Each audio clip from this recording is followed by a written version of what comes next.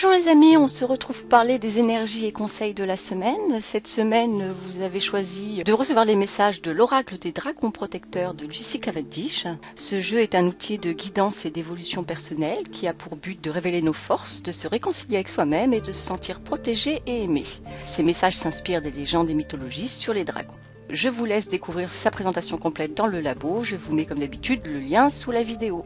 Alors cette semaine, j'ai choisi d'accompagner mes interprétations par euh, mes petits exercices afin de vous aider tout simplement à appliquer bah, les conseils de cette guidance.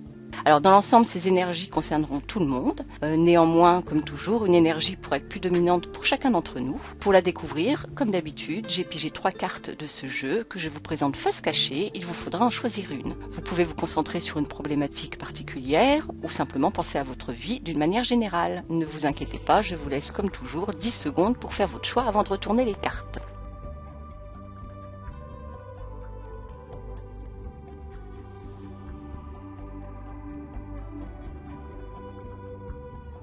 Les 10 secondes sont passées, donc on va découvrir les cartes.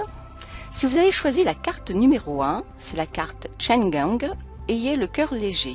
Ce seigneur dragon vous invite à la bonne humeur et à la légèreté. Il nous demande d'évaluer notre capacité à nous amuser et à plaisanter et à prendre au sérieux la nécessité de ne pas l'être. Il souhaiterait vous dire qu'un équilibre parfait doit être trouvé entre les affaires sérieuses et la légèreté du cœur. Si vous vous sentez débordé, si vous avez l'impression de ne pas avoir assez de temps pour vous, si vous pensez que de mener à bien vos projets sont des priorités incontournables, si vous êtes submergé par votre travail, ce dragon vous encourage vivement à faire une pause afin de prendre le temps de rire, de profiter des plaisirs de la vie, du bonheur d'être en bonne compagnie ou de vous consacrer à des activités ludiques et légères. Si vous avez l'esprit encombré par vos soucis, un mental envahissant qui vous empêche d'apprécier les moments de repos, Gang vous suggère d'essayer de mettre plus de légèreté dans votre façon d'appréhender les événements et dans votre façon de les vivre. Essayez de dédramatiser, de prendre du recul vis-à-vis de la situation qui vous préoccupe et d'y voir l'humour, même si cela vous semble difficile. Ce dragon souhaite que vous sachiez que la légèreté du cœur permet de nous ressourcer et de faire le plein d'énergie. Cette distance et ce nouveau souffle vous permettront de faire naître de nouvelles idées, de nouvelles solutions qui jusqu'alors étaient voilées ou étouffées par une suractivité ou un mental omniprésent.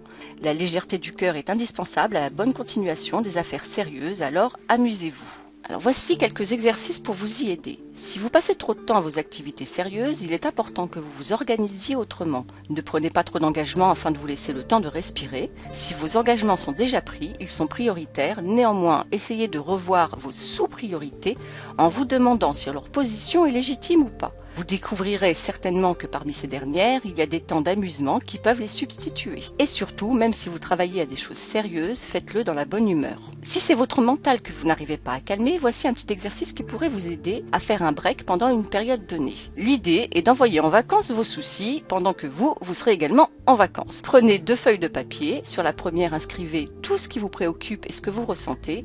Sur la deuxième, indiquez juste un titre de paragraphe que vous laisserez vide pour le moment. Ce titre sera les solutions à ce qui me préoccupe. Mettez ces deux feuilles dans une enveloppe que vous fermez et vous expédiez par voie postale à vous-même. En ce faisant, décidez qu'il est temps pour vous de prendre de la distance car vous avez le droit de vivre de manière plus sereine. Pensez fermement qu'il est enfin temps de vous éloigner de vos soucis pendant le voyage de votre lettre. Profitez de cette rupture pour ne penser qu'à votre bien-être et aux choses qui vous mettent du baume au cœur. Vous pourrez penser à la situation qui vous préoccupe quand vous recevrez votre lettre. Et étant ressourcé, il n'est pas improbable que des débuts de solutions émergent en vous. Il sera alors bon les structurer sur la deuxième feuille que vous avez laissée vide pour le moment. Un autre exercice consiste à projeter tous vos problèmes dans votre poubelle avant de sortir vos ordures. Si vous avez choisi la carte numéro 2, la reine Unag, une solution géniale se profile. Cette reine dragon met le doigt sur notre capacité à utiliser les ressources et les qualités dont nous disposons pour faire avancer nos projets ou se sortir des situations délicates. Très pragmatique, cette reine dragon souhaite vous souffler qu'il est indispensable que vous ayez confiance en vos capacités. Il est possible que vous vivez une situation qui vous semble très difficile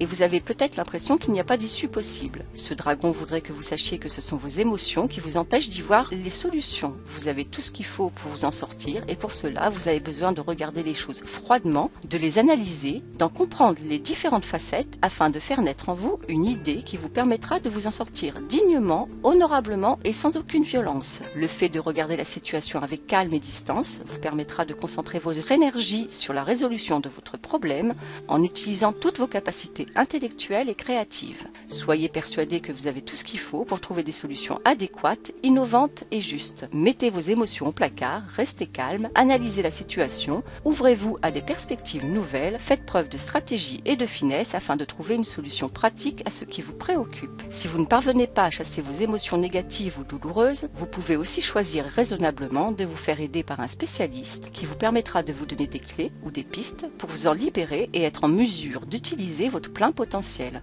En somme, le mot d'ordre est le pragmatisme. Voici un petit exercice pour vous y aider. Prenez une feuille de papier. Indiquez-y ce que vous ressentez et pourquoi cela vous met dans un tel état émotionnel. Sur la même feuille, essayez d'indiquer concrètement les vraies difficultés que la situation engendre dans votre vie, d'un point de vue totalement pragmatique. Cela vous permettra de comprendre et d'objectiver les difficultés que vous rencontrez.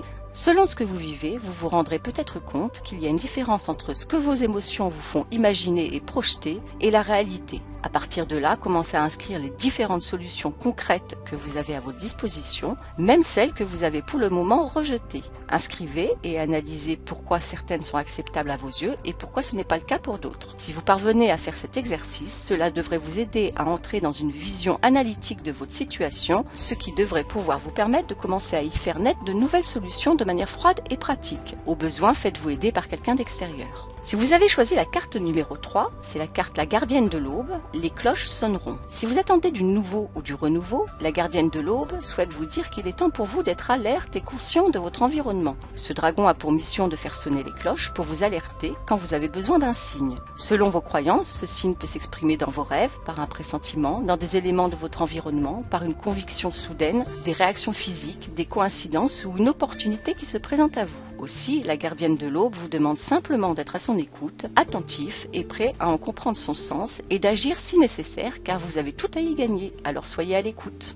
Alors pour vous y aider, si vous ne parvenez pas à faire la différence entre la voix de votre intuition ou de votre ange gardien, de votre guide intérieur, de votre sixième sens selon vos croyances, et la voix de vos peurs et de vos désirs, sachez que bien souvent, quand elle s'exprime, elle ne provoque dans l'immédiat de son expression aucun sentiment, c'est-à-dire ni peur ni joie. Elle est tout simplement. Je vous souhaite à tous une excellente semaine et je vous fais des gros bisous.